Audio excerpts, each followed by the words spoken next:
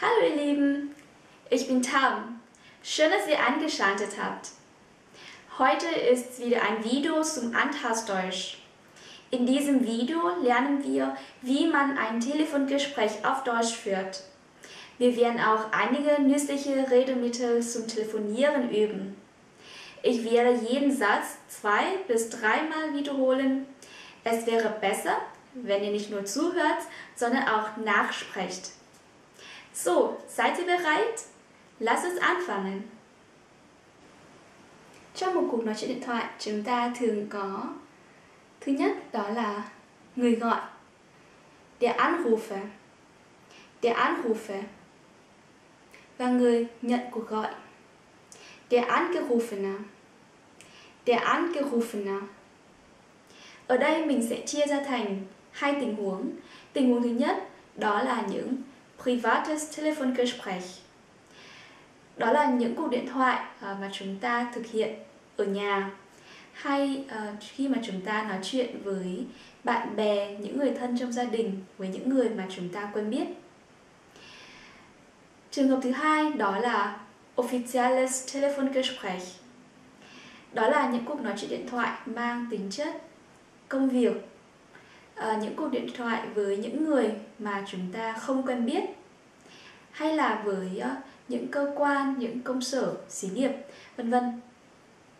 Ở Việt Nam, thông thường khi mà chúng ta nhấc máy lên, chúng ta thường nói là alo hay là alo tôi xin nghe hay là alo ai đấy ạ, à? vân vân. Tuy nhiên thì trong tiếng Đức chúng ta sẽ phải xưng tên của mình. Thông thường chúng ta sẽ xưng tên và họ của mình. Ở trong tiếng đức thì tên sẽ đứng trước họ. Ví dụ như mình tên là thanh tâm và họ của mình là nguyễn thì mình sẽ giới thiệu là trầm nguyễn. Hoặc là mình cũng có thể chỉ cần nói họ nguyễn. À, để cho bạn có thể hình dung rõ hơn về cái ngữ điệu thì uh, mình sẽ lấy một cái ví dụ bằng tên của tiếng đức. À, ở đây đó là Zagamaya à, khi mà à, điện thoại reo thì người ta có thể nói dạ ra cả máy ấy hoặc là máy ấy các bạn thấy ở đây là chúng ta đi lên ở cuối câu. À, cũng có những người họ chỉ nói là hello? Hello?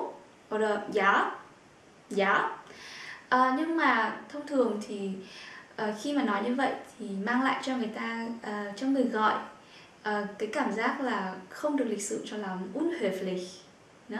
đặc biệt là khi mà các bạn nói chuyện với những người mà uh, các bạn không quen biết còn nếu như các bạn sử dụng điện thoại di động uh, và khi mà có một cuộc gọi đến thì số có hiển có thể hiển thị trên màn hình và các bạn có thể biết được chính xác là ai là người đang gọi mình thì chúng ta cũng có thể nói một cách rất đơn giản đó là hello và tên của cái người đang gọi ví dụ như một người tên là Peter đang gọi cho các bạn thì các bạn có thể nói là Hello Peter Hello Peter Khi mà người nhấc máy lên uh, xưng tên hay là nói xin chào thì nếu như bạn là người gọi điện để ăn Anrufe thì các bạn sẽ phải trả lời hay là phản ứng lại như thế nào? Nếu như đó là một người bạn của các bạn thì các bạn có thể nói là Hello Sarah, here's Peter. Hallo, tên here ist và tên của của người đang gọi. Um, ở đây mình lấy ví dụ là Peter. Hallo Sarah, hier ist Peter. Xin chào Sarah, um, Peter đây hay là đây là Peter. Tuy nhiên nếu như các bạn thực hiện một cuộc gọi mang tính chất công việc hay là mang tính chất hành chính um, hay đơn giản hơn là các bạn nói chuyện với một người mà các bạn không quen biết thì chúng ta sẽ phải nói chuyện một cách lịch sự hơn ở đây thì chúng ta uh, có thể nói bằng cách xưng tên và họ của mình kèm theo đó là Guten Morgen, Guten Tag hoặc là đôi khi là Guten Abend. Ví dụ Peter Schmidt, Guten Morgen. Schmidt, Guten Morgen. Hoặc là một cách khác Guten Morgen, mein Name ist Peter Schmidt. Guten Morgen, mein Name ist Peter Schmidt. Guten Morgen, mein Name ist Peter Schmidt. Còn ở trường hợp các bạn thực hiện một cuộc điện thoại mang tính chất công việc, à, tức là các bạn gọi điện từ cơ quan, từ xí nghiệp, từ công ty của mình, thì ở đây đối với cả người gọi hay là người nhận cuộc gọi thì chúng ta đều có thể áp dụng được cái hình thức này. Đó chính là các bạn trước tiên hãy nêu tên công ty hay cơ quan, xí nghiệp của mình, nơi mình làm việc. Và sau đó là tên của bản thân mình. À, mình có thể là người gọi hay là người nghe. Và sau đó là lời chào Guten Morgen, Guten Tag, Guten Abend à, và nếu như uh, có thể thì các bạn cũng uh, nói là Was kann ich für Sie tun? À, tức là tôi có thể làm điều gì cho ông bà. Rồi bây giờ mình sẽ cho các bạn một ví dụ nhé Reisebüro Fernweh Peter Schmidt Guten Morgen Was kann ich für Sie tun? Reisebüro Fernweh. Peter Schmidt. Guten Morgen. Was kann ich für Sie tun? Reisebüro Fernweh. Peter Schmidt. Guten Morgen. Was kann ich für Sie tun? Khi kết thúc cuộc nói chuyện chúng ta sẽ thông thường nói lời chào tạm biệt. Thay vì nói là Auf Wiedersehen, Auf Wiedersehen, như khi các bạn nói chuyện trực tiếp thì ở trên điện thoại chúng ta sẽ nói là Auf Wiederhören. Auf Wiederhören. Auf Wiederhören. Hoặc là nếu như lịch sự hơn thì các bạn cũng có thể nói là Auf Wiederhören und noch einen schönen Tag. Auf Wiederhören und noch einen schönen Tag. Auf Wiederhören und noch einen schönen Tag. À, xin chào và chúc ông hay bà một ngày tốt lành. Đối với bạn bè thì mình có thể nói một cách rất đơn giản đó là tschüss hay là ciao và tên của người đó. Tschüss Sarah, ciao Sarah, bis dann, bis dann, bis später, bis später, bis bald. Bis bald. Bis morgen. Bis morgen. Ở đây mình muốn lưu ý các bạn một chút về cách phát âm của uh, những lời chào thông dụng đó là Guten Morgen, Guten Tag hay là Guten Abend. Ở đây chúng ta không phát âm là Guten nữa hay là Guten này. Chúng ta không phát âm như vậy, mà chúng ta sẽ tách sẽ tách âm là ở từ guten và âm âm cuối là âm ten chúng ta đọc như là n chứ không phải là n nữa also guten guten guten Morgen guten Tag guten Abend khi đọc nhanh, chúng ta có là guten guten.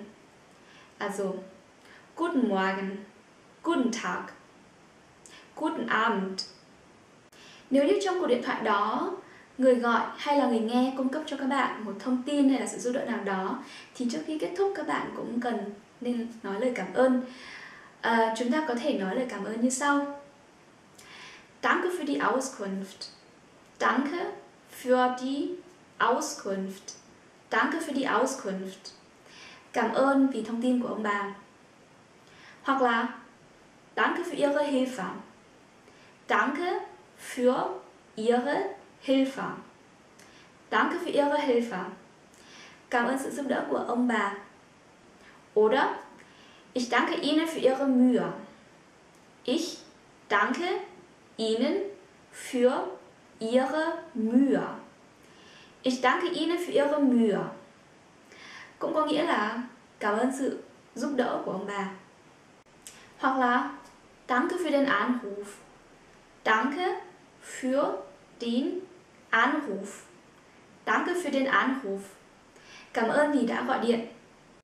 Hoặc là đối với bạn bè, những người thân thiết thì chúng ta cũng có thể nói là Schön, dass du angerufen hast. Schön, dass du angerufen hast. Schön, dass du angerufen hast. Vừa rồi chúng ta vừa mới làm quen với những hình thức rất là căn bản khi thực hiện một cuộc điện thoại bằng tiếng Đức. Còn bây giờ thì mình sẽ hướng dẫn các bạn một vài những câu nói uh, các bạn có thể sử dụng trong cuộc nói chuyện khi mà các bạn gặp một vấn đề nào đó có thể gọi điện thoại cho các bạn không giới thiệu về tên của họ. Các bạn hoàn toàn có thể yêu cầu họ làm điều này bằng cách nói Entschuldigung, mit wem spreche ich bitte? Entschuldigung, mit wem spreche ich bitte? Entschuldigung, mit wem spreche ich bitte? Uh, xin lỗi, tôi đang nói chuyện với ai vậy ạ? Oder Entschuldigung, wie ist Ihr Name bitte? Entschuldigung, wie ist Ihr Name bitte? Entschuldigung, wie ist Ihr Name bitte? À, xin lỗi, tên của ông bà là gì ạ? Là người gọi, der Anrufe. Các bạn có thể nói yêu cầu của mình. Đó có thể là Kann ich bitte mit Herrn, Frau sprechen? Ở chỗ trống ở đây các bạn có thể điền tên người mà các bạn muốn nói chuyện.